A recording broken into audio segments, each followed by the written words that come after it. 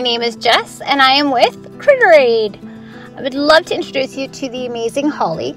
She loves to play fetch and bring you toys. You won't even believe this girl is eight. She is fantastic at snuggling in bed, but not a big lap girl. But she loves to bring you all her toys if you've just got the time. She'd love a home with a big sunshine window where she can just lay down and relax. She's definitely all about the love, but on her terms. Fast movements are still scary for her, so we definitely need a home where she can be supported. But if you're interested in this incredible little eight year old, we'd love to hear from you.